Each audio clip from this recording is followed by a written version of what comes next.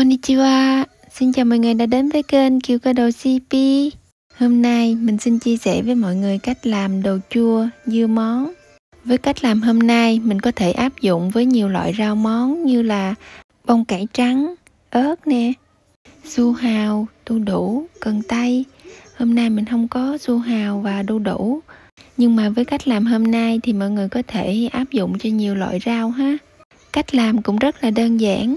Mời mọi người vào xem và cùng làm nha Mình đã chuẩn bị sẵn ở đây là cần tây ha, 3 cộng và cà rốt hai củ. Đây là củ cải trắng mà cái dạng tròn đó, ở Nhật gọi là kabu, 3 củ. Đây là bông cải trắng ha. Ở Nhật vào mùa lạnh thì bông cải này rẻ lắm mọi người. À, đây là ớt, ớt nhà mình trồng ha. À mình có ờ, cái con dao này nữa, dao này để làm đồ chua nè, mình mang từ Việt Nam qua đó. Mình có nghe bạn mình nói ở shop 100 yên của Nhật cũng có bán nữa mọi người. Bông cải hôm nay mình sẽ sử dụng nửa cái thôi ha.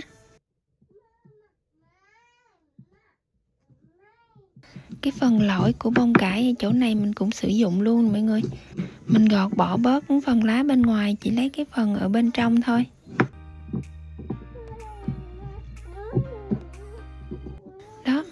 Như đây nè. Cái phần này nó giòn và ngon nhiều vitamin trong này lắm mọi người đừng có bỏ nó nha. Rồi mình tách cái bông cải này mọi người nhớ là tách từ cái lõi tách ra nha. Để mà mình tách từ cái cái bông cái bông ở ngoài mình tách vào á, thì nó sẽ vụn hết. Cho nên là mình tách từ cái lõi mình tách ra như vậy nè. Bông cải này khi mà mình làm đồ chua á, nó giòn ngon lắm luôn mọi người. Nếu mà mọi người không thích trộn á, thì cũng có thể làm riêng bông cải ha. Giòn ngon lắm luôn.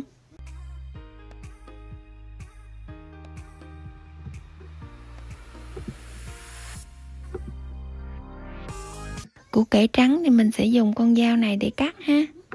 Mình cắt sợi vừa ăn nha.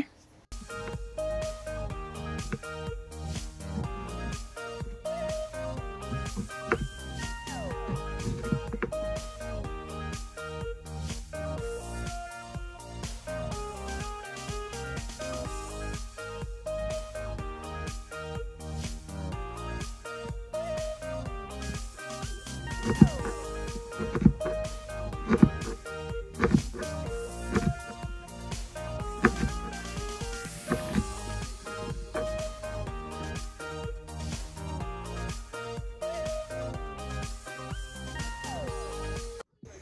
cà rốt cũng vậy ha. Mình dùng con dao này để cắt. Mình để hơi xéo xéo như thế này nè, để cho cái cọng của cải đỏ nó được dài ra.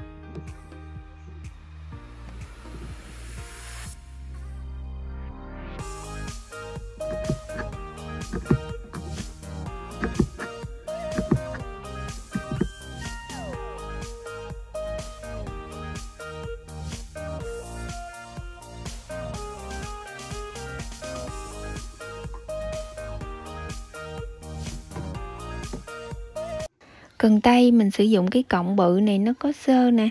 Mọi người nhớ tước sơ ra nha.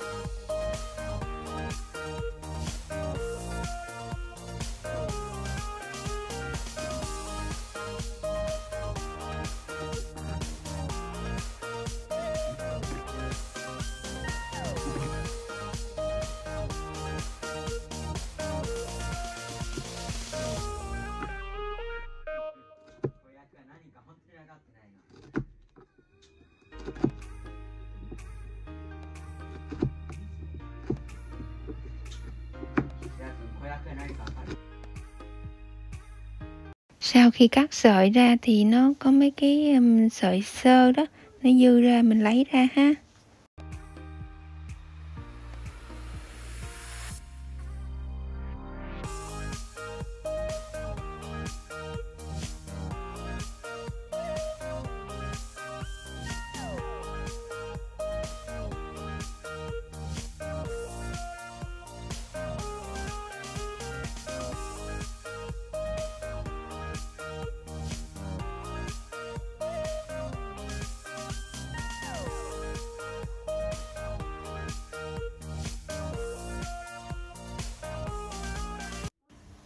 Như vậy là cắt xong rồi nè. Bây giờ mình sẽ cho vào đây một ít muối, khoảng hai muỗng cà phê muối ha. Cho vào đây mình trộn lên, rồi để ngâm muối khoảng 15 phút.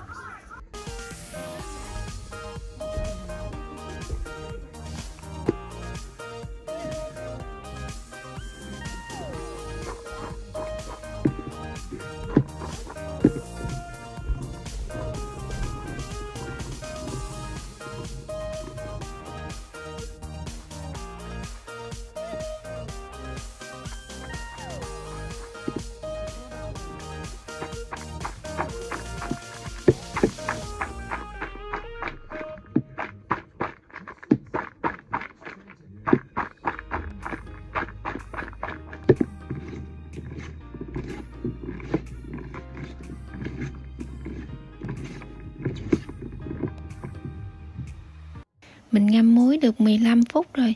Bây giờ thì cái cái cọng cải nó đã rượu nè. Nó nó mềm như vậy là được rồi nè. Giờ mình đem xả nước nha. Mình xả với nước lạnh cho thật sạch nha.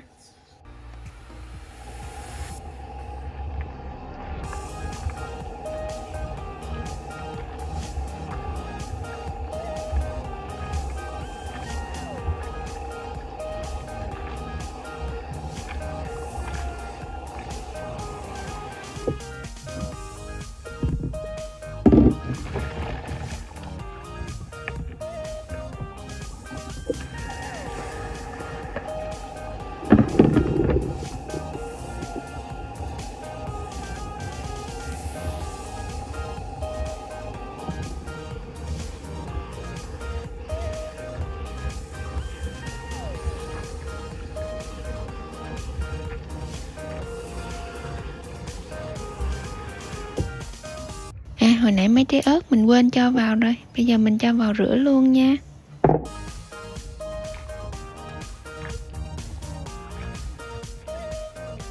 Rửa cho thật sạch rồi mình để cho thật ráo nước. Nếu mà trời có nắng thì đem ra ngoài nắng phơi. Bây giờ mình là tối rồi cho nên là mình không có đem ra ngoài phơi Mà mình sẽ để cho đến sáng. Cho thật ráo nước ha. Giấm ở đây mình có hai loại loại nào cũng dùng được hết ha. Đây là giấm nhật nè. Đây là giấm gạo, người ta dùng để thấu đồ chua đó mọi người.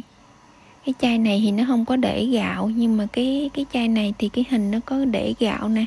Là giấm gạo ha. Bắt nồi lên bếp cho vào đây 500ml giấm. 500ml thì mình đổ ra cái cốc này là được hai cốc rưỡi nha.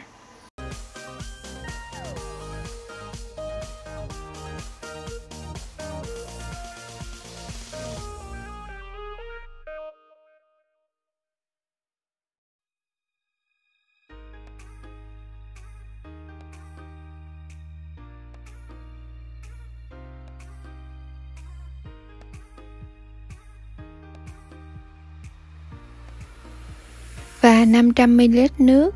Nước và giấm bằng nhau nha mọi người.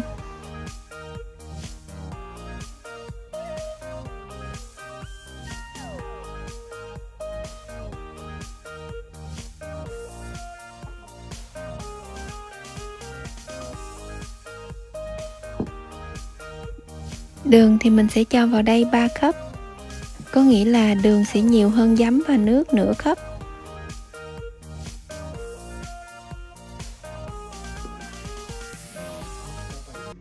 quậy đều lên cho đường tan ra. Và nhớ là mình bật lửa trung bình thôi nha mọi người. Nếu mà bật lửa to quá thì nó nó nó vừa sôi, nó sẽ trào ra liền. Cho nên là mình bật lửa trung bình hoặc là lửa nhỏ thôi, nấu từ từ ha. Cho nó sôi lên sôi lên rồi mình để cho sôi khoảng như thế này nè, sôi bùng như thế này khoảng 5 phút. Sôi được 5 phút rồi thì mình sẽ tắt bếp và để cho thật nguội cái rau trộn của mình nó đã khô ráo nước rồi nè. Vì ở bên này đang là mùa lạnh cho nên là mình đậy đắp và để ở ngoài, để ở nhiệt độ phòng. Còn nếu mọi người ở chỗ nóng thì nên cho vào tủ lạnh nha. Cái hũ để đựng đồ chua thì mình cũng rửa thật sạch và để cho thật ráo nước. Mình trộn các thứ đều lên rồi cho vào hũ ha.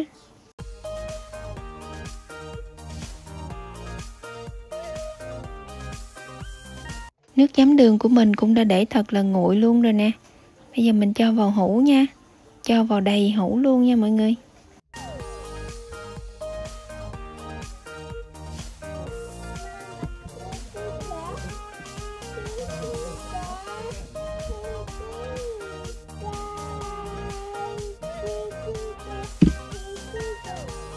Ở đây mình không có cái lưới để chắn nhận cái cái à, để à, nhấn chìm cái à, đồ chua ở trong cái nước. Nên là mình dùng cái wrapper đó mình chặn ở trên như thế này. Đó làm như vậy thì cái đồ chua mình sẽ sẽ được ngập nước giấm đường ha. Nó không có bị nổi lên trên. Rồi đậy nắp kính lại nha.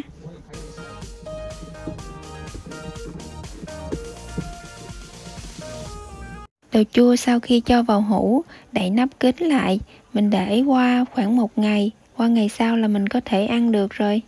Với cách làm đồ chua hôm nay, mình để bảo quản ở trong tủ lạnh ăn được khoảng một tháng à, và nhiều khi mình quên á, mình để qua hai ba tháng sau mình ăn cũng không có sao hết, không có bị hư luôn.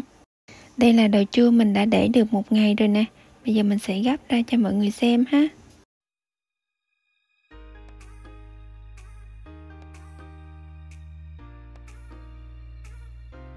Mới để chỉ một ngày thôi mà nó đã thấm, vừa ăn và rất là giòn luôn. Ớt tươi đó mà mình ngâm cái kiểu này nè, mình để được rất là lâu luôn. Mà vẫn tươi giòn, ngon lắm. Như vậy là clip làm đồ chua, dưa món của mình đã hoàn thành xong. Clip của mình xin được tạm dừng tại đây.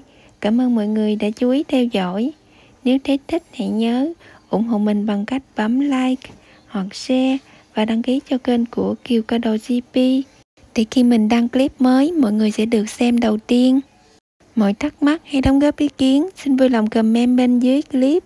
Rất mong nhận được sự ủng hộ của mọi người để mình có thêm động lực làm nhiều clip khác hấp dẫn hơn nữa nha. Hẹn gặp lại mọi người ở các clip sau. Sai goma de mite kurete arigatou gozaimasu. Mata ne. Bây giờ mình ăn thử nha.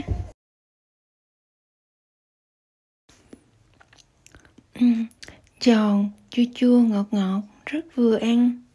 Xin chào và hẹn gặp lại mọi người sau nha.